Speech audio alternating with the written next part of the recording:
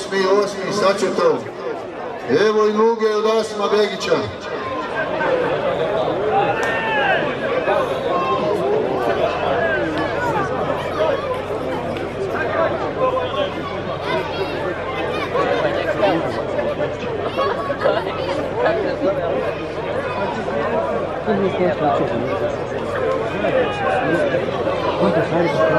Nisam ja gledao borbu, kasnije gledao snimak. Kupo neka imam bolje sliku, snimu.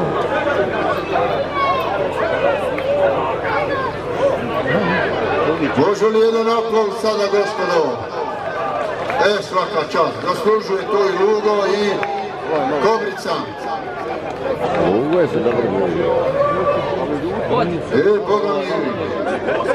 Danas izgleda dosta transfera. Evo i Kobrica, po pobjedi ide transfer. Ostaće ovdje odmah u ovoj areni.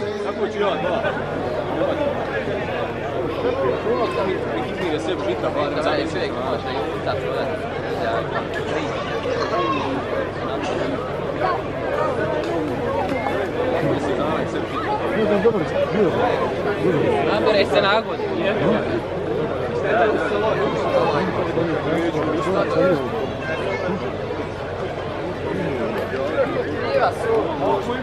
Dobra, prva ispitivanja.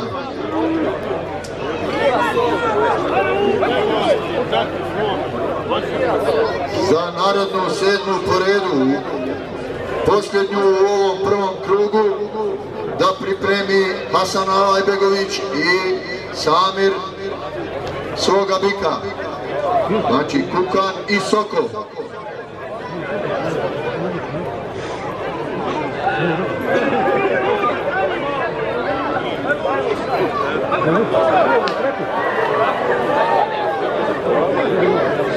Evo, da šta je, je li gotovo?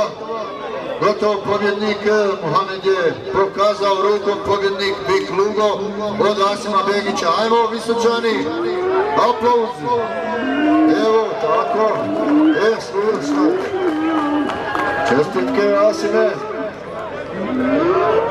A mnogo sreće i sa njegovom kobricom za dalje. Eto, čuli ste kako Lugo